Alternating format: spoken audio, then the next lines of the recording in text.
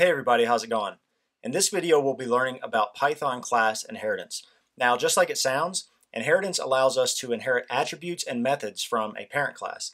Now this is useful because we can create subclasses and get all of the functionality of our parent class and then we can overwrite or add completely new functionality without affecting the parent class in any way.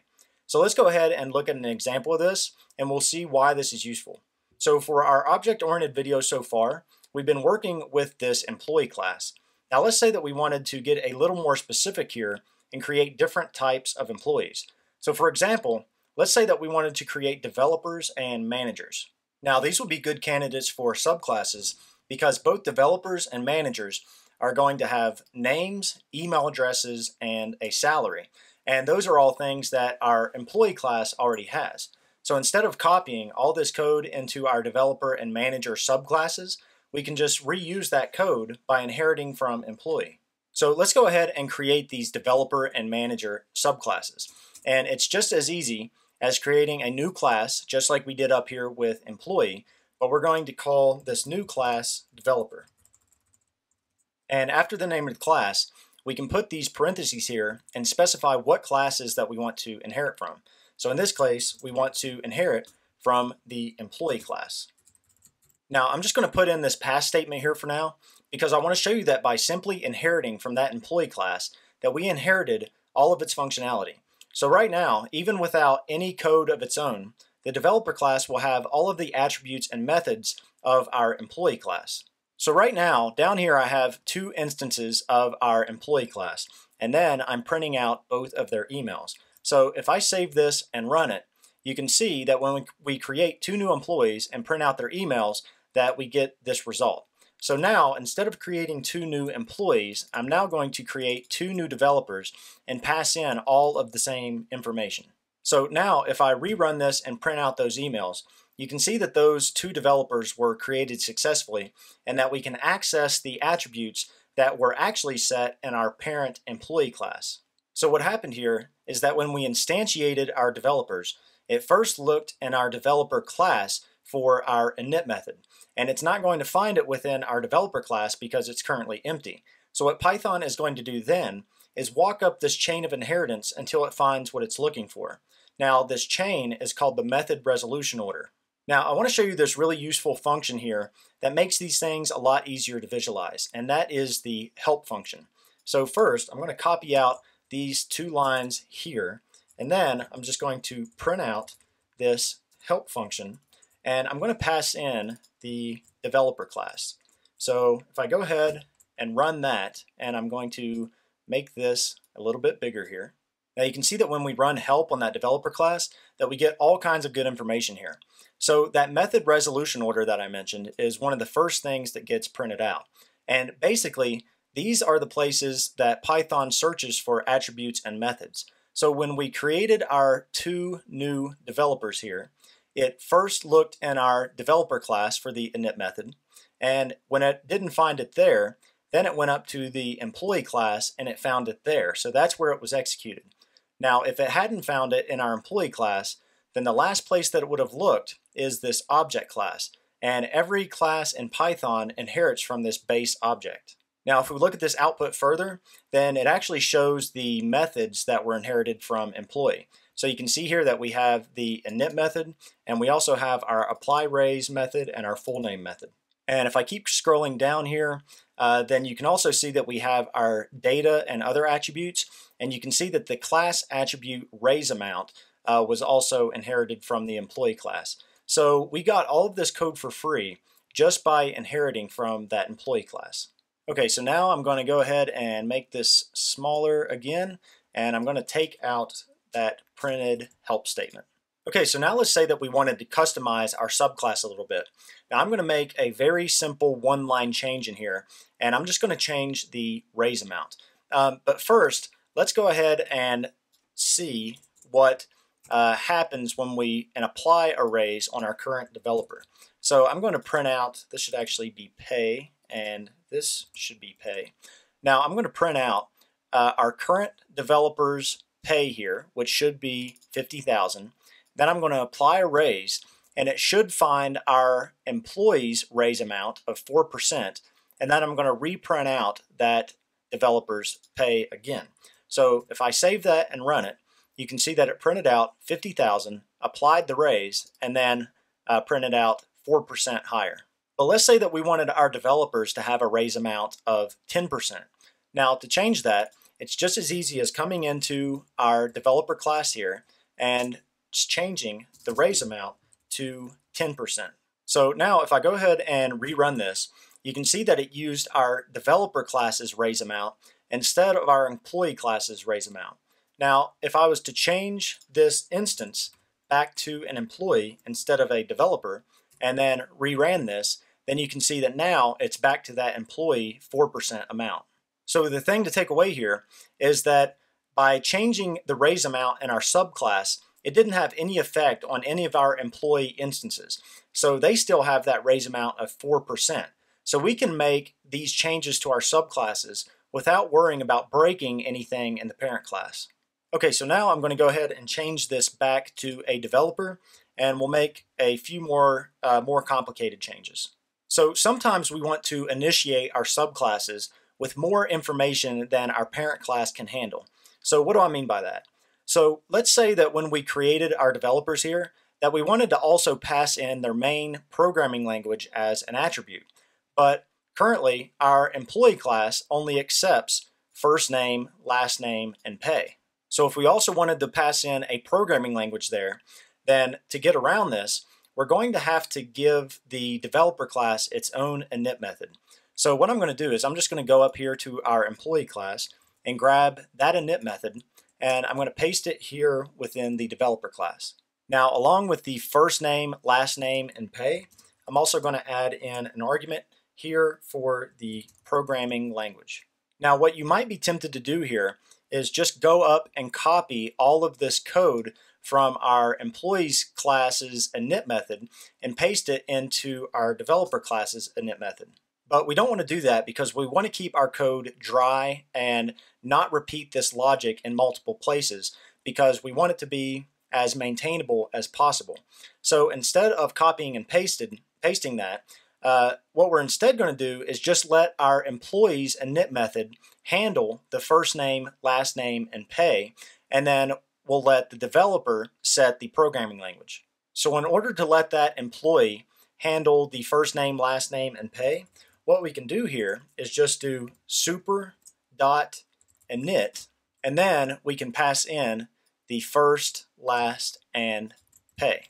So again, super dot init is going to pass first, last, and pay to our employees init method and let that class handle those arguments.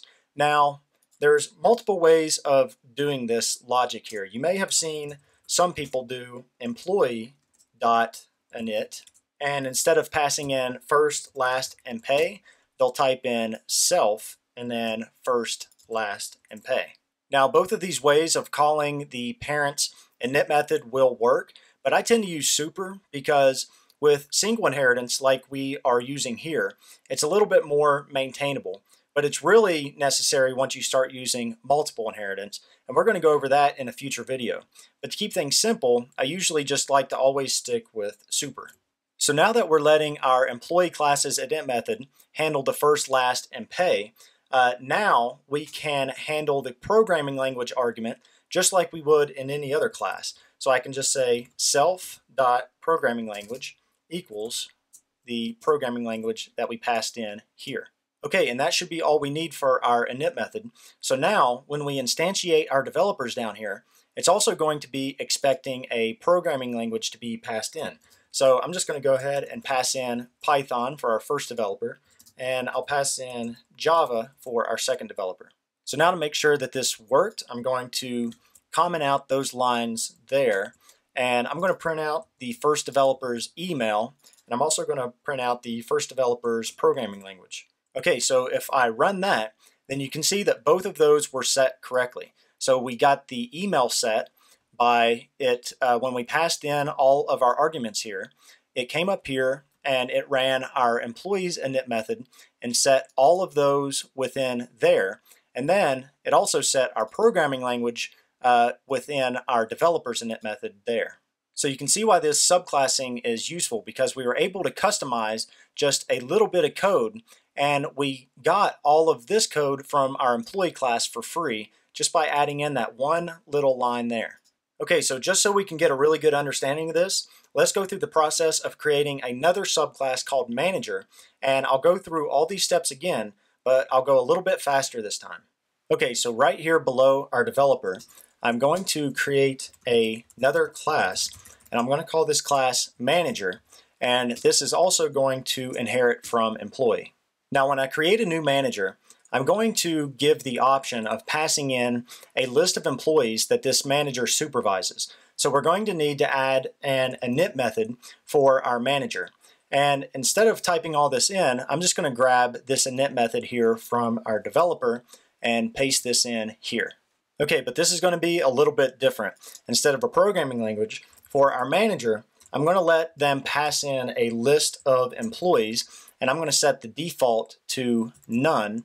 And then instead of setting this programming language here, I'm going to say if employees is none, self dot employees is equal to an empty list, and then else self dot employees equals employees.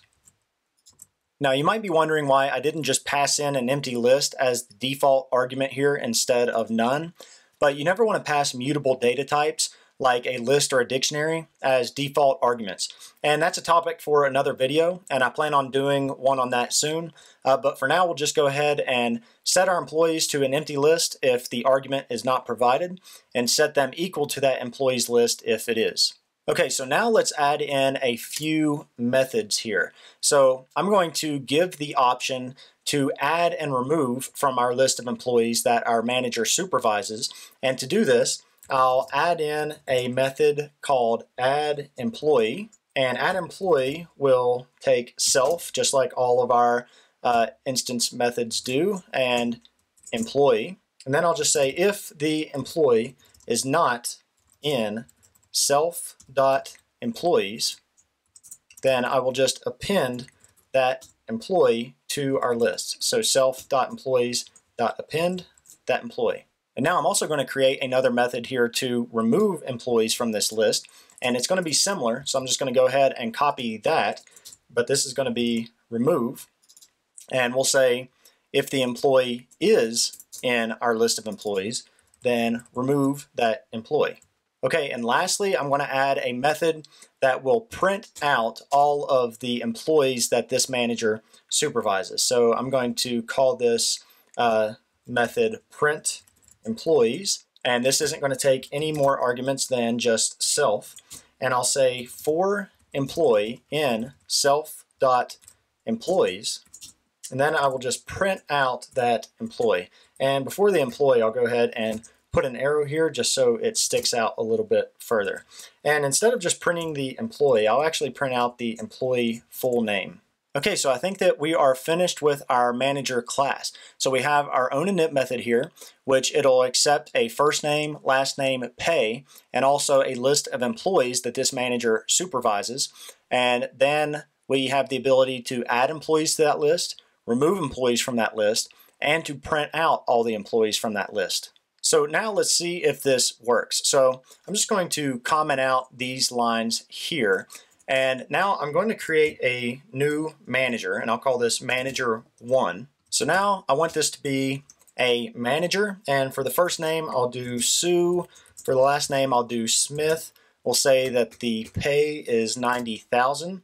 And let's say that she supervises this first developer here. So now let's make sure that this manager was successfully created and that we have uh, all of the attributes and methods available uh, that it would have inherited from that employee class. So let's go ahead and print out this manager's email address. So now if I go ahead and print this out, you can see that the email address was set correctly.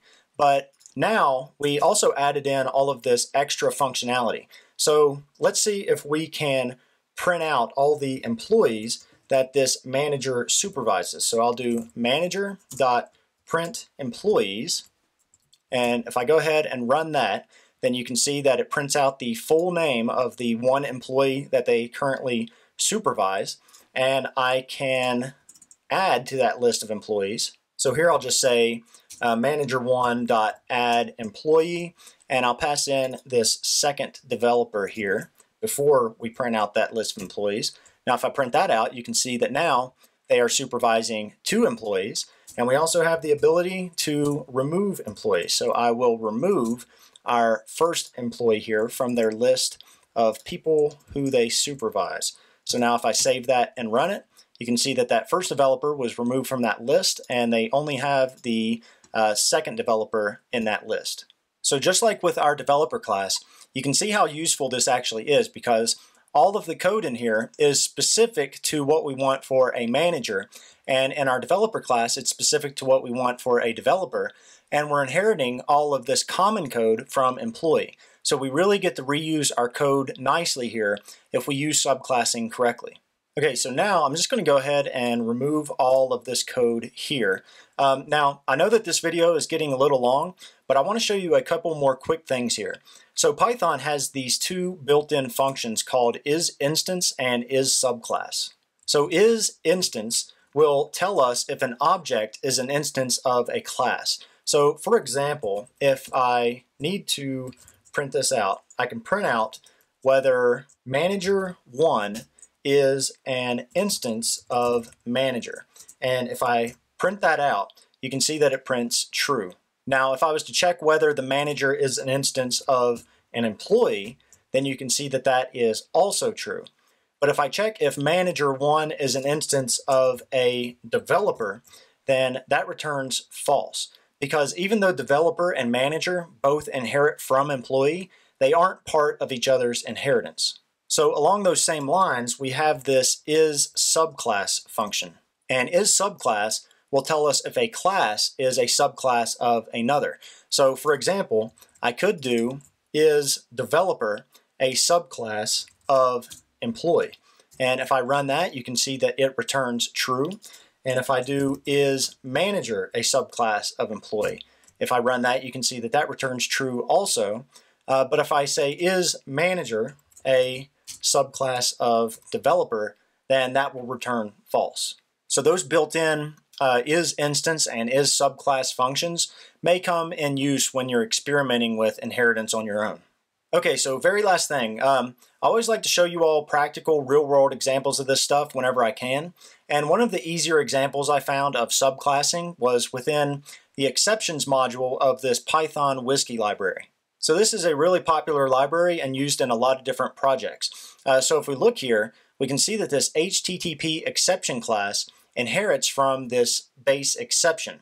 And they say here that this HTTP, HTTP exception is the base class for all HTTP exceptions. Now, if we scroll down here, you can see this, that this has a lot of code in this class. But once we get far enough along, we can see that we have some other classes here that inherit from that base HTTP exception class.